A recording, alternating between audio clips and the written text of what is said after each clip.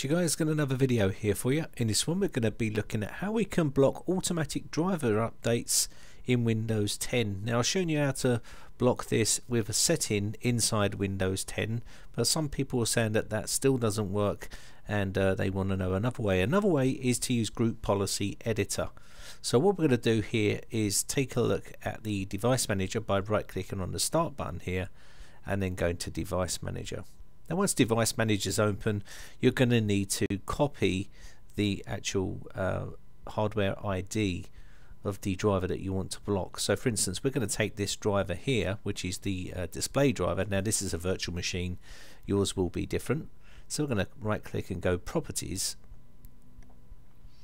Now we want to go to details. Now inside details we want to go down to where it says property and then go to hardware ID this will give you all the hardware IDs for that piece of uh, software or driver there. So what you want to do if you want to copy all of these you just hold the control key down and highlight them by clicking on them now you can push control C and this will copy all of those.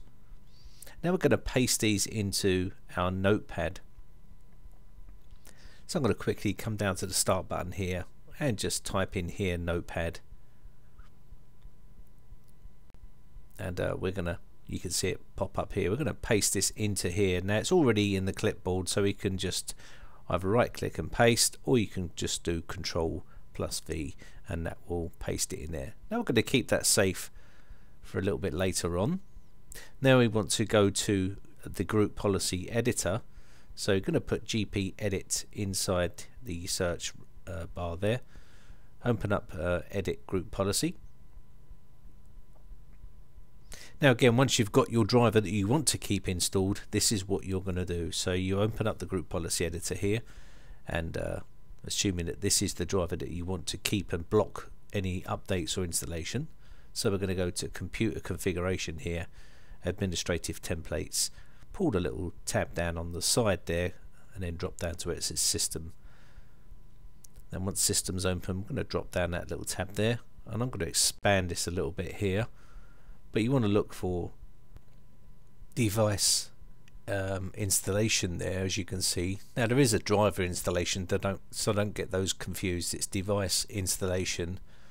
And now we need to hit that little tab there and hit the device installation restrictions. Now inside here once I've expanded this we want to look for prevent installations of devices that match any of these device IDs and if you come down here you'll see that in the list just here. And you can see it's not configured so we're going to configure that. So we just need to double click on this and this will then open up another window. So just double click on this or you can right click but we're going to double click on here.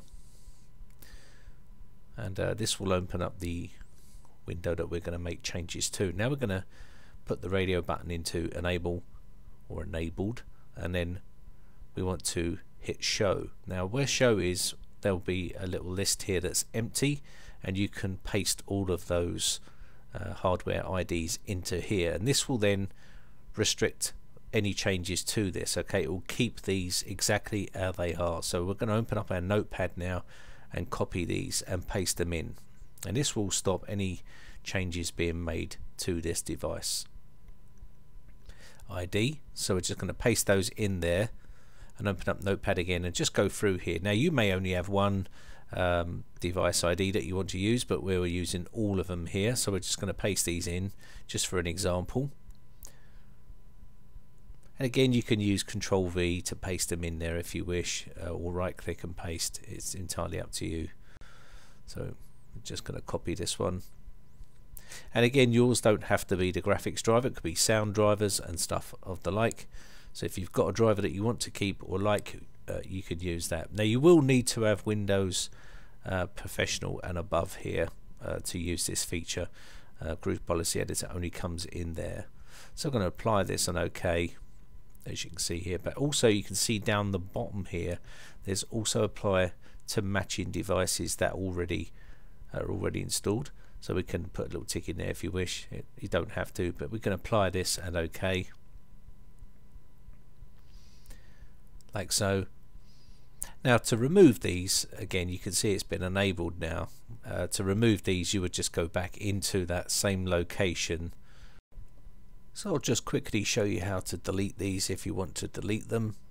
Uh, you just go back into the same location, click on show and this will open up the show contents window and then just right click on these uh, device hardware IDs and hit delete and that will be that and then you apply an OK and you should be good to go. So to make these changes uh, work from right now, so we're going to right click on the start button here and go to where it says command prompt admin.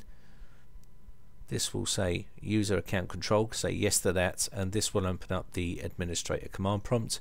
Inside here we want to put gp update and then space forward slash force and this will force the changes to be made while we're at the desktop here without rebooting and that policy will now be put in place. And that is it. You've now blocked any updates or changes to that hardware ID or device driver okay so I hope this one helps you out. My name is Brian from briteccomputers.co.uk if you enjoy these videos guys then hit the like button. Also hit the subscribe button if you want to keep up to date on, upload, on uploading any new videos. If you've got any problems with your computers head over to the forums. You know where that is. The information's on the screen. Also join my Facebook fan page if you haven't done already. Thanks again. Bye for now